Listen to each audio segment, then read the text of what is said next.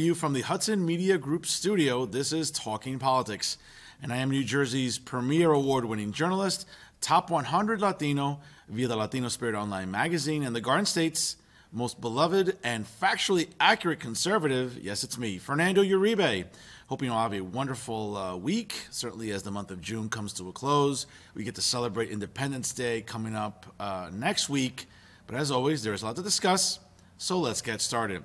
Here's what I'm thinking about right now. Folks, let me just uh, put on my educator hat for a second. Let me just read you a very important part of the Bill of Rights because it'll be very important during this monologue. And it's about the 10th Amendment, and it reads as follows The powers not delegated to the United States by the Constitution nor prohibited by it to the states are reserved to the states, respectively, or to the people. That's really important to remember as this monologue continues. Now, again, folks, as we all know, last week was quite uh, the week, you know, in jurisprudence as the United States Supreme Court handed down some very interesting decisions. As a devoted, again, and uh, dues-paying member of the National Rifle Association, hearing the court decision as it pertains to the state of New York was uh, music to my ears. Again, as someone who is a responsible gun user and owner, I certainly took quite uh, enormous amount of satisfaction seeing the court rule correctly in that case against the state of New York. But of course, as we all know, uh, last Friday, um, as we all suspected because it was leaked months before, the landmark decision from 1973 concerning Roe versus Wade as it pertains to abortion was indeed overturned by a 5 4 majority. Now, here are some of the effects, again, about why this case is so significant. Now, a big question people would have is what would happen if the Supreme Court ultimately overturned Roe versus Wade? Well, ultimately, the answer is that some states would outlaw abortion, but others would not.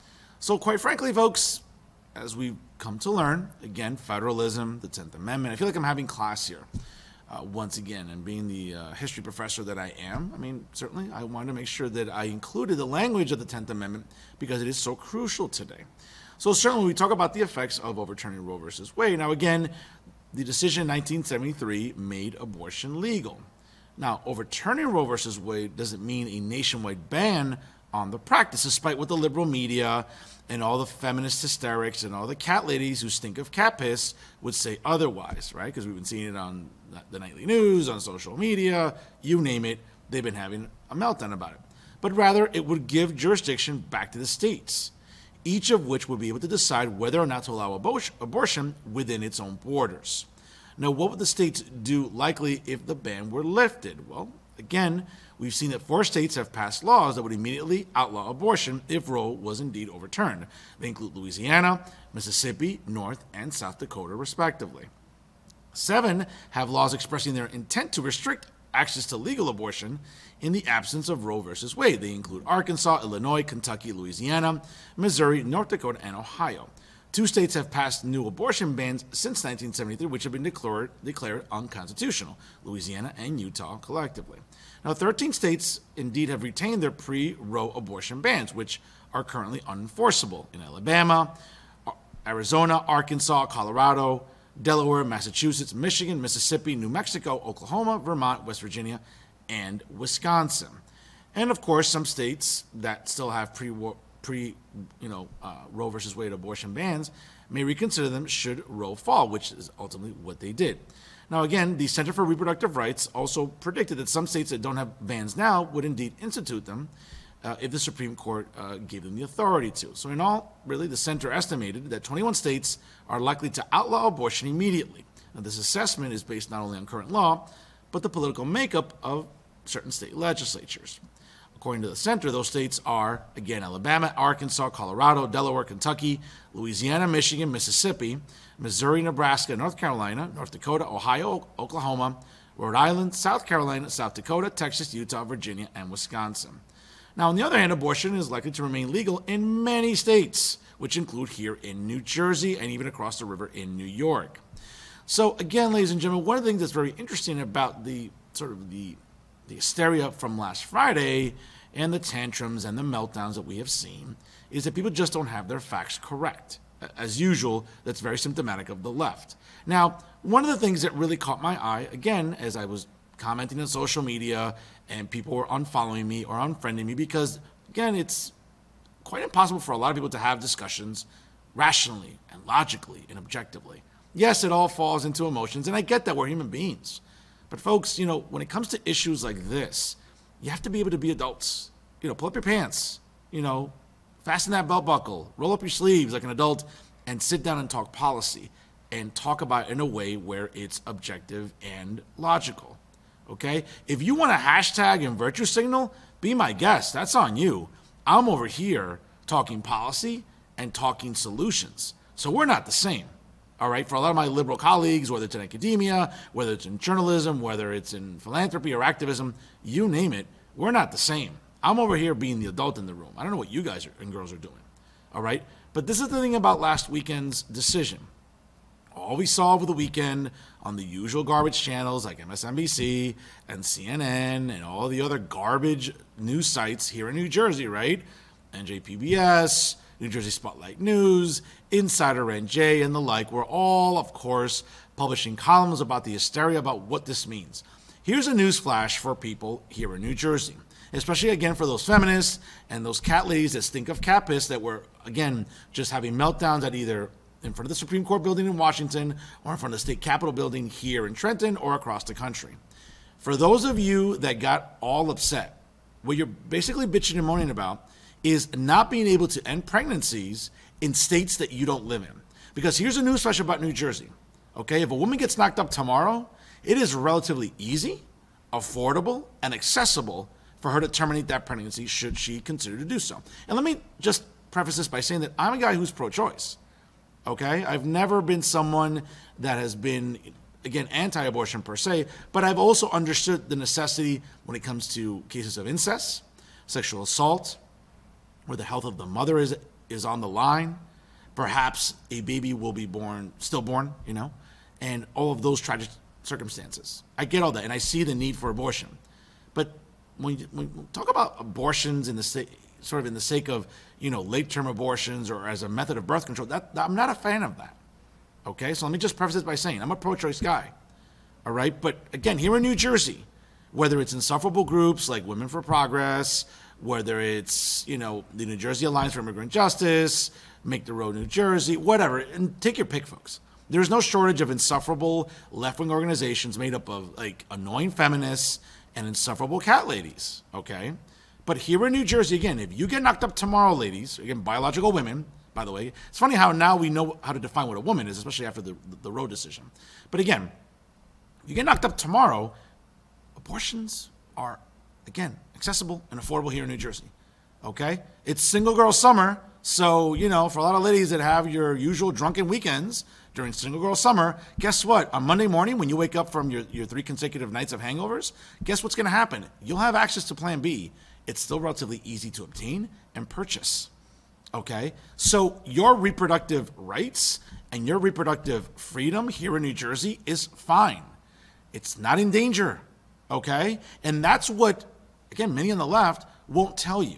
They'd rather, again, virtue signal and hashtag and have meltdowns. I mean, ladies and gentlemen, just go on TikTok, Twitter, Instagram, Facebook, you know, Snapchat. I mean, the level of infantile meltdowns by grown ass women is quite embarrassing. And women that I know that have like advanced degrees, which is even more embarrassing. Okay? You're grown ass women acting like children acting as if all of a sudden, yeah, you know what? Let me go and play dress up and wear an outfit from The Handmaid's Tale, the popular series on Hulu, and the book itself, because you want to have a meltdown in New Jersey.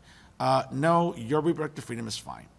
And whatever the state of Texas chooses to do, whatever the state of Mississippi chooses to do, that's their right. It, again, it's federalism, it's the 10th Amendment. It's what allows them to have that autonomy. Okay? People in Texas and Alabama and New York, excuse me, and Mississippi and Florida don't care anymore about what we're doing than, we should care about what they're doing. Do you think that people in Texas care that the legislature just passed this week a $50.7 billion budget as it continues to escalate here in New Jersey, that spending continues to escalate, that gas prices are still on the rise, that we're still spending money on some insufferable left wing bleeding heart causes in New Jersey? Of course not. They're worried about their state. Don't worry about what's going on in Florida. Don't worry, don't worry about what's going on in Texas, Mississippi, Alabama, Tennessee, wherever. Again, ladies and gentlemen, okay, who want to go on these marches and participate in all these rallies, okay, Think about what's going on in New Jersey. Your rights are fine. Your rights across the river in New York are also fine.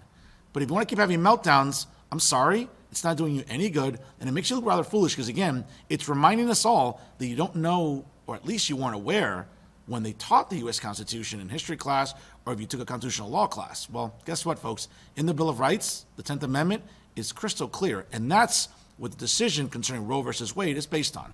Abortion has not been banned nationally, it's just been relegated to the states. Do your homework, folks, because I'm tired of doing it for you. And that's what I'm thinking about right now. In the latest edition of the five time award winning podcast Talking the Hudson, which you can listen to every single week via www.blogtalkradio.com slash Talking the Hudson, was the president of the Jersey City Young Democrats, Cory Garriga. And we spoke for over an hour on a plethora of very important topics. And here are some highlights for your consideration. First and foremost, we talked about what to expect from the Jersey Young Democrats now that he is the president of the organization. And quite frankly, during this midterm election year, there certainly is not a shortage of topics to talk about. Let's hear what he had to say about it. Uh, Cory, good to have you on here. How are you, brother? Thank you. I'm I'm good. I'm good. Thank you again for having me on. It's it's it's a pleasure. I followed your show now for quite a quite a while. Um, I'm very familiar with you, so I'm here. Okay. Well, uh, I'm glad you are. Uh, I, I certainly I appreciate you tuning in. Uh, not sure what you've liked about the show or haven't liked, but we'll get to that in a little bit. But let's let's get to some good you know good old bread and butter questions. As To say, uh, Cory, uh, we know that uh, Hudson County is as blue as Windex. Um, as someone who was the chair of the Hudson County Young Republicans for five years back in the day, uh, I know that was a challenge for me to register voters, to get people galvanized and motivated. I would say that that's clearly not an issue for, let's say, the Jersey City Young Democrats, where there's a strong concentration of Democrats. Uh, I would argue working class, blue collar Democrats that comprises a lot of Jersey City. Is that fair to say? Yes. So even within for internal Democrats, you know, mobilizing, organizing and mobilizing, uh, especially, you, you know, that age range that we're focusing on, 18 to 40, can be hard sometimes, you know, and I think that's more so location based. You know, there's a lot of factors that go into consideration with that. Location based, uh, there's passion, you know, and also involvement from our leaders that really drive, that help drive that passion uh, to help uh, mobilize and organize those individuals. So um, right now, I'm in a place where I kind of have best of both worlds, so to speak, where sometimes it's tough to uh, get a group together, and, and some days it's easier, and it really depends on what our target range is there. Secondly, we discussed the significance of overturning Roe versus Wade as we know that the Jersey Young Democrats joined elected officials and other community organizers and activists collectively to voice their frustration about what happened. And I had to sort of, you know, take Cory to task, not specifically with him, but, but some in the organization who, again, seem to be more intent on virtue signaling and hashtagging than really being realistic about what's going on with Roe versus Wade and the overturning of the landmark decision. Let's hear what Cory had to say about it. You know, when I see activists saying nonsense like abort the court, we all know that I get it. It's cute. It rhymes, and it, it's good for a rally. It's good for hashtagging and virtue signaling. But I, I mean, it, both sides are guilty of this. I'll be the first one to admit it. But but stuff like this, you know, abort the court and not the church, not the state. Woman must control her. I mean, I don't know, man. If you've seen my social media and my content, you know I'm one of those guys. I don't subscribe to a lot of this stuff.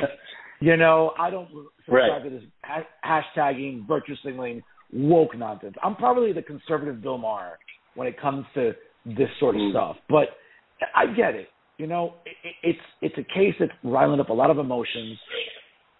But let's dissect this a little bit, Cory. Let's separate. Let's take emotion out of things.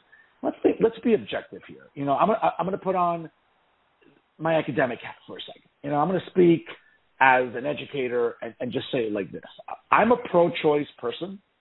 I'm someone that has always supported a woman's right to choose. I understand the, the necessity of abortion.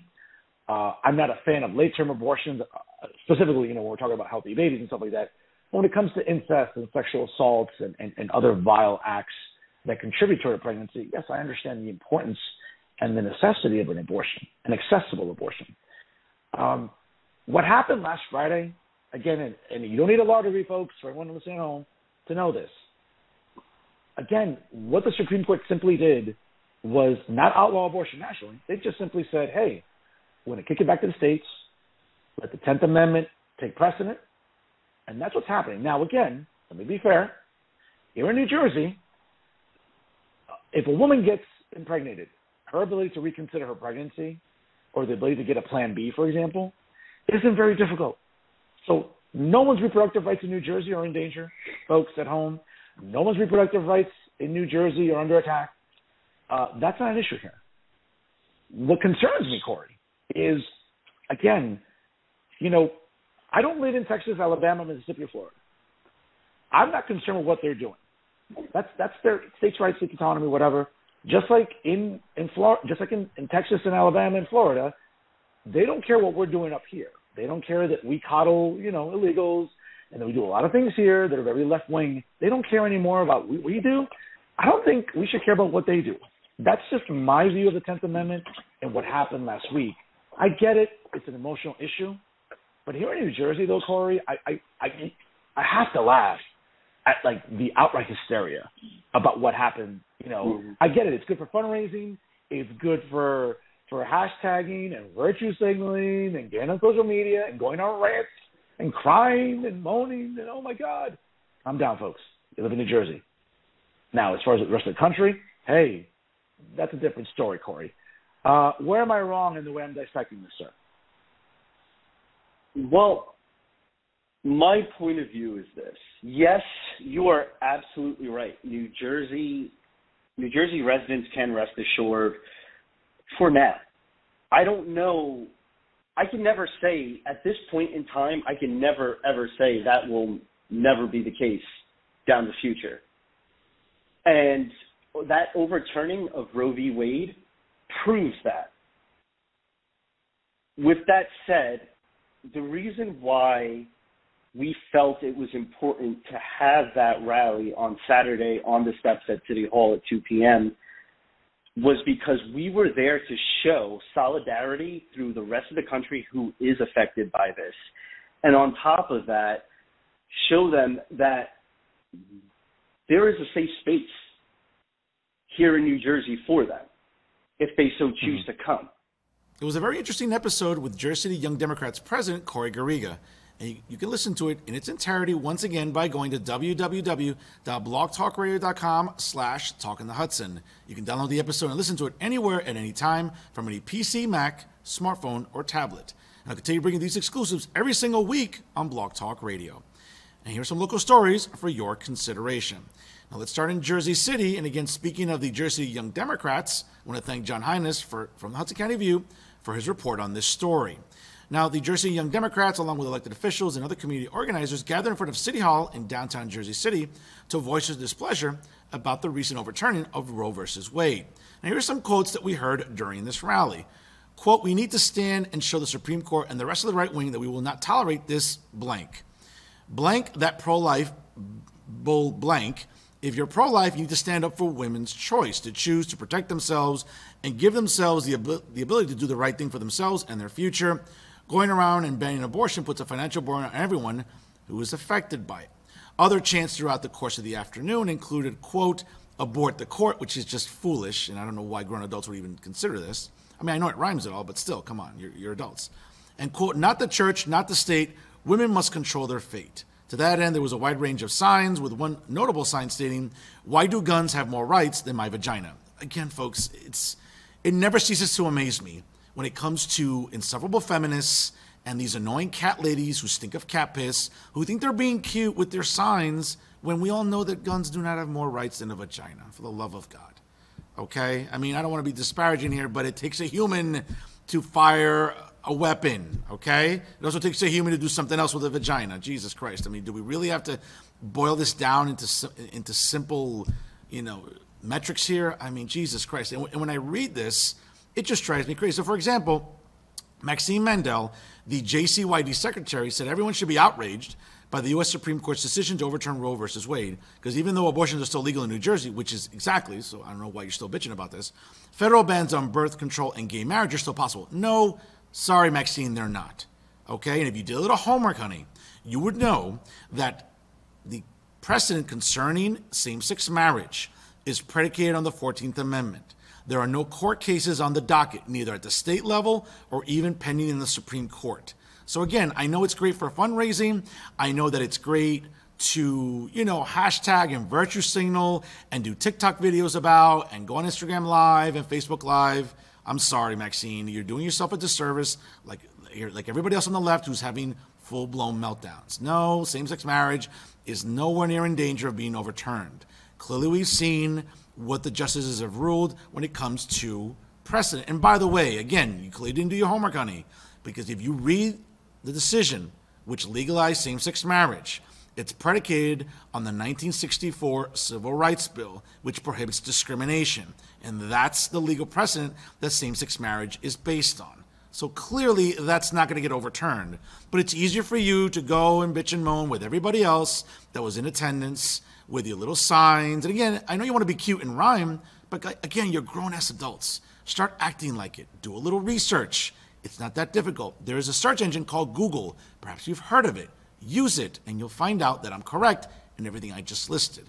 Again, you listen. I'm not trying to diminish anyone's right to protest or, or, to assemble peacefully. But folks, do your homework. At least know what you're talking about when you're going to go in front of a camera or make up signs, and you look totally foolish if you don't know what you're talking about. Now, again, kudos to the JCYDs for going out there, showing solidarity. That's all well and good, as well as elected officials. But folks, do your homework and at least know what you're talking about and stop virtue signaling and hashtagging because you know what? That doesn't get anything done other than just make you look really foolish. Staying in Jersey City, again, thank you to John Heinis from the Hudson County View for his report on this story.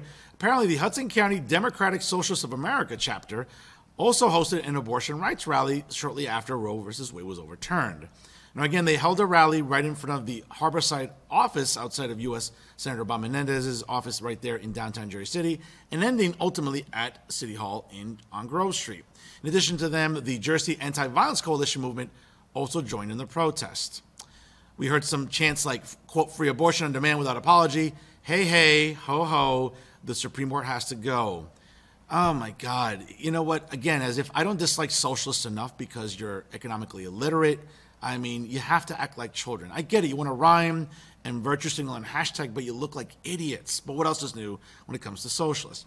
So, for example, they also demanded that, that Congress codify Roe versus Wade to make abortion federal, federally legal, and the Senate filibuster, and for President Joe Biden, whenever he wakes up, to appoint more Supreme Court justices. Quote, according to activist Sophia Cutler, another insufferable feminist, it's an attack that will be especially felt by women of color, by trans and non binary people, as if that's what we're really concerned about right now, and other marginalized communities. But it's, it's also an attack on working class communities.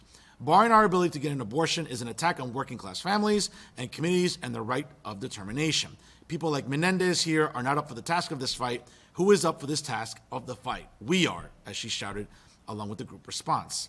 Uh, Cutler also noted that several House Democrats are pro life, including U.S. Representative Henry Cuellar, uh, among other U.S. Senators who are Democrats, Joe Manchin from West Virginia, and Kyrsten Sinema, who also drew the ire of crowds at certain points.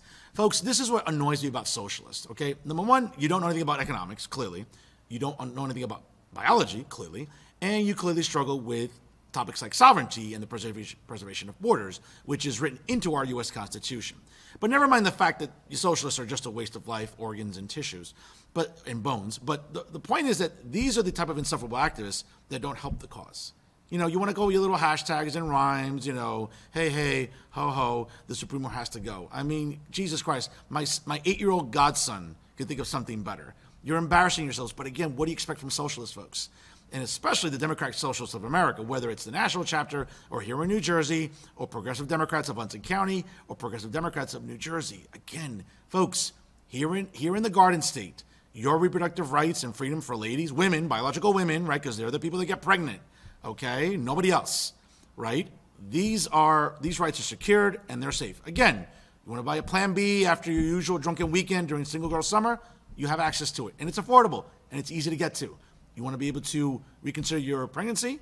guess what? There are plenty of Planned Parenthoods that get tons of money from the state legislature and from the federal government. So they're not going to go broke anytime soon. So if you need an abortion or a Plan B, it's easy to get here in New Jersey and across the river in New York. What you're bitching and moaning about, again, I don't know because we know that the case simply says it's now relegated to the states. And you know what, folks? Again, that's the 10th Amendment. Why am I having to teach class here when I should be talking about other issues? But again, when it comes to socialists, and progressives and those on the left, it seems like I have to teach class every single week here on Talking Politics. And a story that caught my attention on Reuters apparently, a New York State judge struck down a recent law on Monday that gave hundreds of thousands of non citizen residents, mostly illegals, of New York City the right to vote in municipal elections for mayor and other local offices. Judge Ralph Porzio of the New York State Supreme Court for Staten Island ruled the law violated the state constitution, which says that, quote, every citizen is entitled to vote. Now, the city council, controlled by Democrats, passed the law last December, and it went into effect in January after both Mayor Bill de Blasio and his, and his successor, you know, the black Bill de Blasio, ultimately Eric Adams, declined to either sign or veto it. The measure would not have been a factor until next year's elections for city council. Now, the law allowed an estimated 800,000 to 1 million non citizens living in New York City as lawful permanent residents, apparently, of the United States or with U.S. authorization to work here to vote in elections for city office. And we all know that's there are ways to get around that, folks. We all know that that happens in cities like New York, including those for the mayor's office and local council members, but not in statewide elections or federal elections. There are about 6.7 million people of voting age in New York City. Bravo to this state Supreme Court judge in New York because, folks, when it comes to left wing activists, and all of these groups that love to coddle illegals, believe me, they were waiting for this to happen. They were waiting for this to get to take action so they can just register illegals to vote because that's what they want. Thankfully, someone believes in the Constitution and believes in the state Constitution. But trust me, folks, if there are people here in New Jersey, like the New Jersey Alliance for Immigrant Justice, right? Clowns like Amy Torres, useless clowns like Patty Campos Medina, and other insufferable activists, trust me, if they can try to make it work here in New Jersey, they'll certainly make the effort. But thank God in, in, in the Empire State that that judge ruled correctly. It's not going to stop those on the left, folks, that don't care about the sanctity of elections or preserving democracy. It's funny when they want to preserve democracy when it suits them. But you know what? Kudos to this judge because thankfully illegals won't be able to vote in elections anytime soon. And that's our show for this week. To check out all the excellent programming brought to you by the Hudson Media Group, check out their websites, www.hmgtvshows.com, as well as www.livestream.com slash hmgtv. Also, check out the Hudson Media Group on their YouTube page. Make sure you like them on Facebook and follow them on Instagram and Twitter. Check out my own Instagram and Twitter, folks, at No Filter Uribe. It's the same handle for both. Make sure you like Talking Politics with Fernando Uribe on Facebook. And check out my own Facebook as well. It's the handsome guy with the Biden Sucks t shirt right in the profile picture. You can't miss me. And also make sure, ladies and gentlemen, to always check out the five time award winning podcast, Talking the Hudson, by going to www.blogtalkradio.com slash Talking the Hudson. Episodes are free to listen to anywhere and anytime. And always remember, folks, if it's unbiased, unfiltered, and unafraid, it's always talking politics right here with the Hudson Media Group. I am New Jersey's premier award winning journalist, top 100 Latino, the Latino Spirit Online magazine, and your favorite conservative, Fernando Uribe, saying so long and thank you so much for watching.